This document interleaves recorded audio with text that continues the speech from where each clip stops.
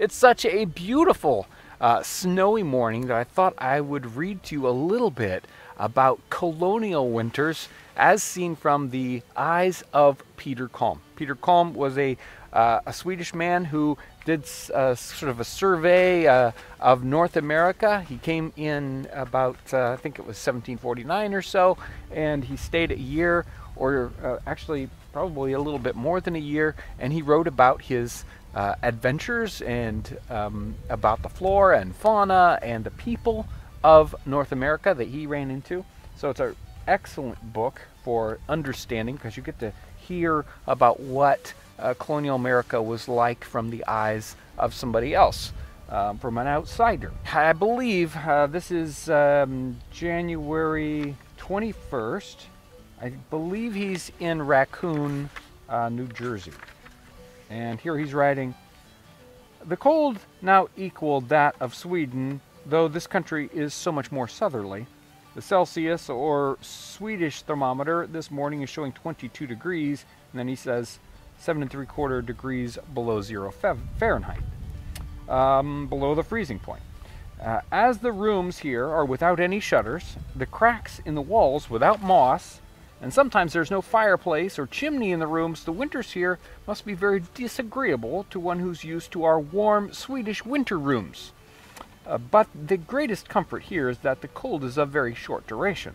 Some of the days of the month in which the room I lodge was such that I could not write two lines before the ink uh, froze in my pen, and when I did not write, I could not leave the inkstand on the table, but was forced to put it on the hearth or in my pocket.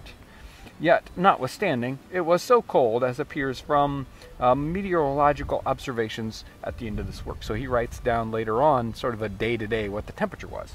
Um, and though it snowed sometimes for several days and nights, and the snow lay near six inches high upon the ground, yet all the cattle were obliged to stay day and night in the fields during the winter.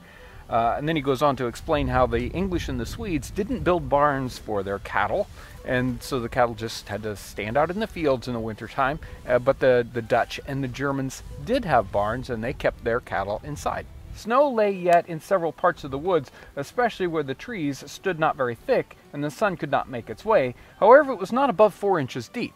All along the road was ice, especially in the woods, and therefore it was very difficult to ride horses which were not sharp toed. So I'm not sure what he means. Maybe they had spikes on their uh, shoes or something. Um, the people here, uh, the people who settled here, know little of sledges, but ride on horseback to church in the winter, though the snow is sometimes near a foot deep.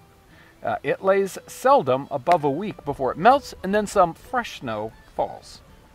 So he writes there um, about snow specifically and traveling in the snow. And later on here, the next winter, um, I think he's in the Philadelphia area.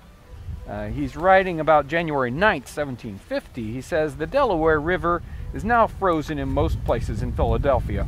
For the last three days, there's been a large number of young men and boys on the ice, some walking, but most of them skating.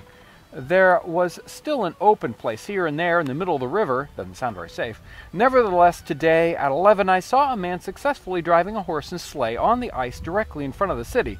The next day was mild and beautiful when a section of the ice before the town suddenly broke up and began to move downstream. There were a good many people on this piece of ice. Uh, booths had been set up to sell brandy and such things to the skaters, and now they all found something else to do besides uh, enjoying themselves. People rushed away precipitously, and fortunately, all reached terra firma safely, at least that we know of. The ice remained, but for a few days, no one dared go out on it. There were some people on the other side of the river starting to cross when the ice began to loosen, but they were obliged to turn back. Smart folks. On the 13th of this month, the river wholly opened up again so that ships could move in and out. And then he goes on and he says, The English youth is very fond of skating, and so are the men of 30 years or over. Men of all classes have a passion for this sport. They would sometimes go three or four miles to reach a place where the ice was safe. The sheltered spots were flooded with men skaters, but I saw no women on the ice. He also goes in uh, during the winter time. He kind of stays inside. Um, smart guy. And but he actually goes through old newspapers and he transfers some of those interesting stories into his journal, and many of them reference uh, kind of the snow in different parts of. Um, of the the history. So like he he goes back into a newspaper in 1725, and it talks about how there was a whole lot of snow, nearly two feet. Then there hasn't been uh, that much snow in the past couple of years, and he goes on and and talks about snow and, and winter at several times in the book. So it's a really it's, it's well as you can see, there's a lot to this book. Um, you can see my notes. I uh, have a there's so many interesting little tidbits in this book sometimes just a sentence or two, but very, very insightful at times, um, answering questions you have about daily life or about the differences between people that were living in the colonies. It's a book I just can't recommend enough. Uh, it's a it's a great book. There are some printed versions available online. Uh, you can go to Amazon. I'll probably put a link down in the description section. Uh, there's also the free PDF version of uh, Peter Kalm's book that you can find. This one is the like 1770 uh, English translation. I think there's also a 1771 English translation. So uh, there's uh, there's it's just there's uh, so much great information in a book like this. So many great clues to colonial life, especially since we kind of see them through the eyes of somebody who wasn't living there day to day. So he sees things out of the ordinary and he writes about them such a, uh, a wonderful time when we get this first snow of the year, and it makes me immediately think what was uh, winter like in the colonies, North America in the wintertime in the 18th century. Uh, must have been an incredible uh, experience and adventure, difficult and probably fun at times. Um, doesn't sound like I'd want to live in this house without shutters or any chinking in the walls or anything with the wind whistling through and no fireplace. well, let's hope the winter's short, right?